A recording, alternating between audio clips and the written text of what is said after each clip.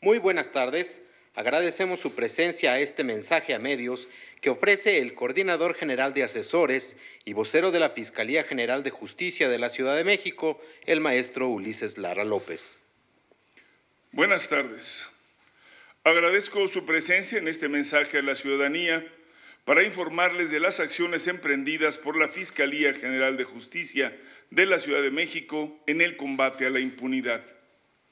En esta ocasión, les hemos convocado para darles a conocer los avances en las indagatorias en un tema que atrajo la atención de la opinión pública desde mayo pasado, relacionado con la desaparición de un joven estudiante de la Universidad Autónoma Metropolitana, cuyo cuerpo fue localizado sobre la carretera México-Puebla en el municipio de Chalco, Estado de México, luego de la supuesta atención brindada por paramédicos de una ambulancia privada. En seguimiento a la denuncia presentada por familiares de la víctima, detectives de la Policía de Investigación aprendieron esta madrugada a tres personas, dos de ellos paramédicos y el tercero identificado como propietario de la ambulancia, por su probable participación en el delito de desaparición cometida por particular agravado. Tras informarles sobre el mandamiento judicial en su contra y luego de la lectura de sus derechos constitucionales, Cristian Rafael N., Brian Alejandro N. y Santos David N. fueron trasladados al reclusorio preventivo varonil norte, donde quedaron a disposición del juez que los requirió. Lo anterior, luego de que elementos de policía de investigación derivado de labores de gabinete y campo, localizaron a dos de ellos en calles de la colonia obrera de la alcaldía Cuauhtémoc, mientras que el tercero, Santos David N., se le ubicó en la colonia Nueva Atzacualco, en la alcaldía Gustavo Amadero. De acuerdo con la denuncia, el pasado 28 de mayo, el estudiante universitario salió de su domicilio, ubicado en Valle de Chalco, municipio del Estado de México, para asistir a una fiesta en la colonia obrera, alcaldía Cuauhtémoc. Sin embargo, desde ese día se desconoció su paradero. Los hechos fueron reportados a la gente del Ministerio Público de la Fiscalía Especializada para la Investigación de Desaparición cometida por particulares, de la Coordinación General de Investigación de Delitos de Alto Impacto, cuyo agente del Ministerio Público inició la carpeta de investigación correspondiente, activó los protocolos para su búsqueda y emitió el fotovolante respectivo. Como parte del protocolo, una célula de la Dirección General de Atención a Víctimas entabló contacto con los familiares para brindarles contención emocional y acompañamiento, así como para ofrecer asistencia jurídica.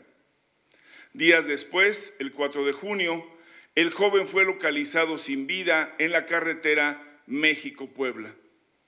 De acuerdo con la investigación, durante la madrugada del 29 de mayo, la víctima compartió con un familiar directo su ubicación, misma que indicaba que se localizaba en las calles de Topacio, en el centro histórico.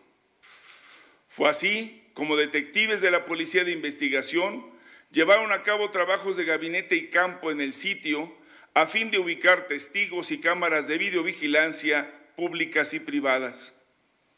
Derivado de diversas diligencias realizadas por personal ministerial, policías de investigación y un exhaustivo rastreo interinstitucional, se logró obtener una posible coincidencia de una persona inconsciente de sexo masculino con características similares a la persona no localizada en la calle de Misioneros. Con el apoyo de las cámaras de C5 se observó la llegada de una ambulancia privada, misma que probablemente realizó el supuesto traslado al Hospital Regional de Zaragoza. Sin embargo, la unidad no se detuvo ahí y la última imagen del vehículo fue captada sobre la autopista México-Puebla. Sobre esa unidad vehicular, es fundamental señalar que luego de los hechos, la ambulancia fue modificada en su cromática para buscar evitar que fuera identificada por las autoridades. El día 4 de junio de 2022, Policía de Investigación se trasladó en compañía de los familiares de la víctima al Estado de México, donde reconocieron plenamente al occiso como su familiar. La Fiscalía General de Justicia reitera que no tolerará conductas al margen de la ley, por lo que refrenda su compromiso para investigar a quienes cometan cualquier conducta fuera de ella y con ello evitar la impunidad. Al margen de la ley, nada. Por encima de la ley, nadie. Buenas tardes, muchas gracias.